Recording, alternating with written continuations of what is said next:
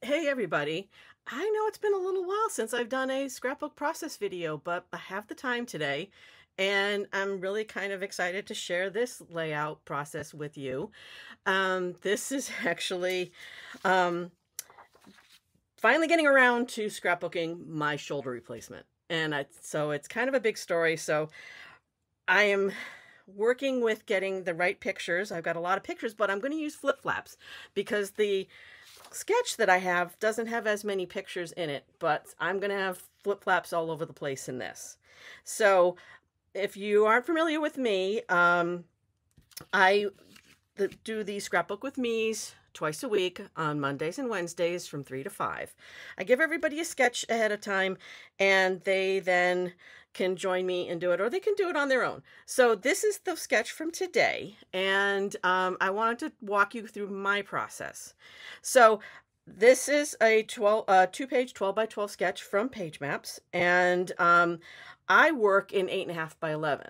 So what I have here, all the numbers you see on this are my conversions. So during the scrapbook with me's, we'll usually go over what are the sizes for the different elements of the sketch for um, a 12 by 12 page, but then I do my own kind of conversions to 8.5 by 11.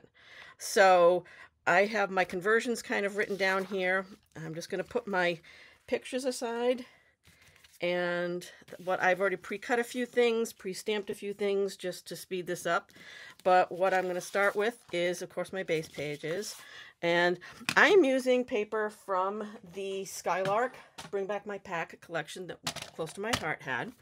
Um, I had some in my stash, and I just kind of felt that that would work really well with this layout. So I'm going to cut down my base paper for this layout to 8.5 by 11.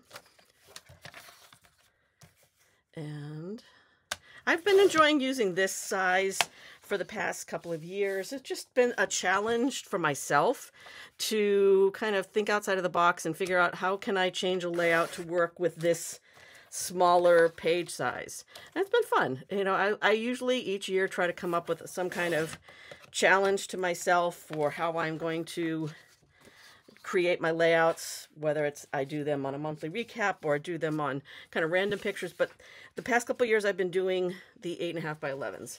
So my next paper I'm doing is going to be this large background paper. And I want to make sure that I have this element remaining in the, on the page. So this is going, I'm going to keep this. So first I'm going to cut this because this spans both pages. So I'm looking at this, this to be, of course, 8.5 by 11, but with 7 on the left and 1.5 on the right. So I'm going to take this down to 8.5 by 11. And then I am going to turn this so that I can cut one, one and a half inches off that will be on my right-hand page. So that's going to be what spans the two pages. Now the next piece I'm going to do is this large pattern here. And I've got this is going to be five inches tall. And I'm going to use this paper. I've already used the back side of it to do some scallop strips, which I'll cut down in a little bit. But I'm going to have, this is going to be you know, five inches tall. This down. Okay.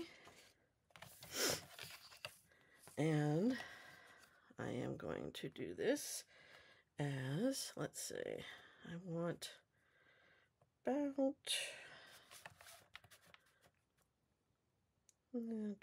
four inches on my left page. And then I am going to have about seven inches on my right. So cut that down Just put some scrap aside. So, I just, I'm to cut that again. I'm not completely enamored of that size. So, you know, this is what happens. I, I'll use up some paper. So I'm to have four inches on the left.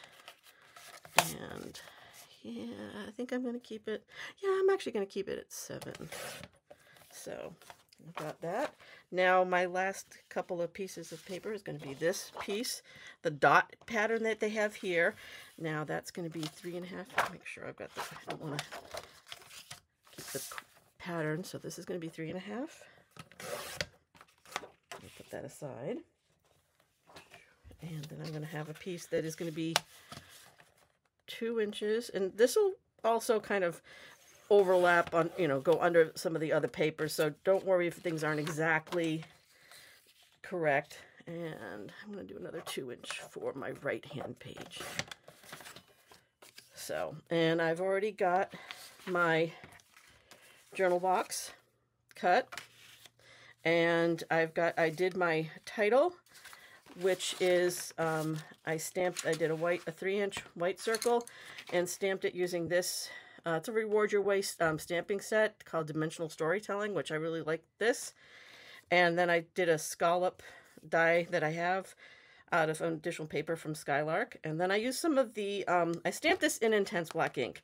And then I used some of the Colorista pencils to kind of color it in. And I get, did a little bit, um, some shading on the bottom to give it a little bit of a darker look. So that's there. So let me start with assembling this page. Put my pieces aside. And I'll be cutting down that scallop in a bit. So we're going to start with this. And once, sometimes it takes longer just to kind of figure out the sizing and placement of everything. But once you get it going, it uh, definitely helps. And I do, if you ever look to do like an 8.5 by 11, I actually created a chart with um, conversion for 8.5 by 11. And I, I do have a link on my blog to a downloadable PDF for the conversion. So you can always um, go there and follow the links to it. So there's my basic piece. So I'll just pull this sketch out so that you guys can refer to it as I'm going along. So my next pieces being my larger green pieces. And those, of course, meet in the center. I love this Skylark paper. This is just, I love the colors of this. And it's roughly a little bit more than halfway up. And I could use my mat to kind of line it up. But I don't really, not really completely worried about it, but I'm going to do it a little bit more than halfway because I did make my title um, circle a little bigger than they show on this sketch because I, of course, was stamping an in image and wanted to make sure it would fit. Line that up. All right. Now I'm going to take my little two by three and a half pieces for each side are going to be roughly in the center of this.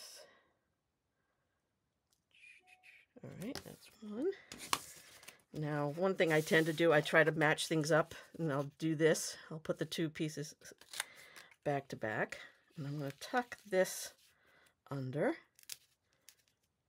so that this will line up with where that piece came from. So now I've got my basic page. Now what I'm going to do next, before I do my photos, of course I'm going to put my journal block, but um, now that I'm looking at this, I realized I made this a little bit too big. That's always with the backside. I What I had done is already did some lines with my ruler, but not a worry. Easy to cut down. I can redo the lines whenever. So I'm going to cut this down a little bit smaller because I, I want the photo to be able to kind of overlap a little bit. So I'll cut a little bit off and I can redraw the lines at any point in time, not a problem. And then I'm going to put, yeah, that works better. So I'm going to put my photo, my journal block down.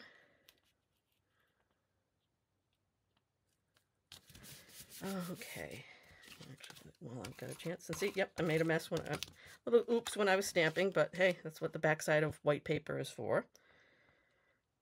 That there, because this is going to go. And I may have it overlap and cut a little bit. We'll see.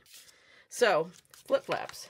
If you're not familiar with these, these are a great way to get extra photos on a page. And so what I'm doing here is I've got a whole bunch of photos. I'm putting basically I'm putting all photos, my flip flaps are going to be filled with photos.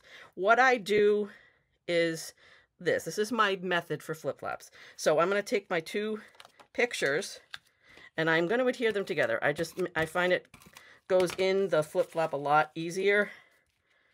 And, or if you're using cardstock, you know, you put a cardstock on the back, get this in. Okay, my big scar. so this is going to go in my flip flap. Now, if you notice what I do is I um, cut the ends at an angle of my flip flap. And that is so when I've placed it behind a photo, a mat or another picture, you don't see the edges of the flip flap adhesive. Just kind of a technique that I've done for a while. And I'm a little bit one for making sure everything lines up. So what I do, this is how I work with flip flaps, I take a bead of adhesive along the top of my mat or my photo, whatever is going to be on the back. Then I'm going to line up my photo or my cardstock, adhere. So now I've kind of created the flip flap, but not on the page yet. Now I'm going to adhere it to the page. So take that little adhesive off. Now, I'm going to line up the photo where I want it to go. And let's just make sure everything is all lined up. And adhere it down. And now that works. So now I'm going to do the same thing with my other photos. So just be very careful when you are adhering one photo to the next that it's opens in the form you want. And so you can see it. Yeah, this was my long time coming, this process. And if you can see by this picture, I have a replacement part in my shoulder. long time coming with arthritis in my shoulders that was causing more and more problems. And they finally had to do replacement. And if you can't tell by the picture, this is actually reverse replacement. So the socket is where the ball was and the ball is where the socket was. So it was kind of an interesting to come out of anesthesia and be told that, here you go. I'm like, okay, that was a little, a little odd. Now, if you're concerned about this, you could always put a 4 by 6 piece of paper and then adhere your photos back to back that way. I'm not too worried about it. If I do have a problem with it, I can always take it out and re redo it. So put this together. And, or you could use separate, you know, three by four flip-flaps. So this is going to be next to this in here. There's, I'm putting my two sets of photos in here. Oops, just get that nice and tight. And again, I'm going to do the same thing with this bead of adhesive on each one.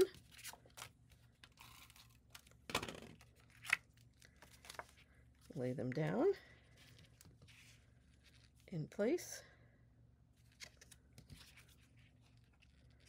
Hold them in place and then put the flap there. Now that I've got that set, now I'm going to just take off the backing. Adhere my other side photos. Now this sketch shows one photo that goes across the two pages. I'm not a big fan of that technique. That's kind of not really me, but I do like it, certainly. I find I can do that better with landscape photos than, of course, with photos of people. So that's why this one is not going across the page. So here, I'm going to just make sure that this is lined up. Because once this goes down, it's not going anywhere because of course the adhesives from flip, the flip flap pockets are very strong. So now I've got my all of my photos in my flip flaps. Now I'm going to embellish and I won't make you guys sit and watch me do my journaling. No worries about that. So I wanted to measure this before I cut, so that's why I didn't really cut these down at first. So I am going to take that. And nice thing about this is there's a little lip that I can adhere this behind.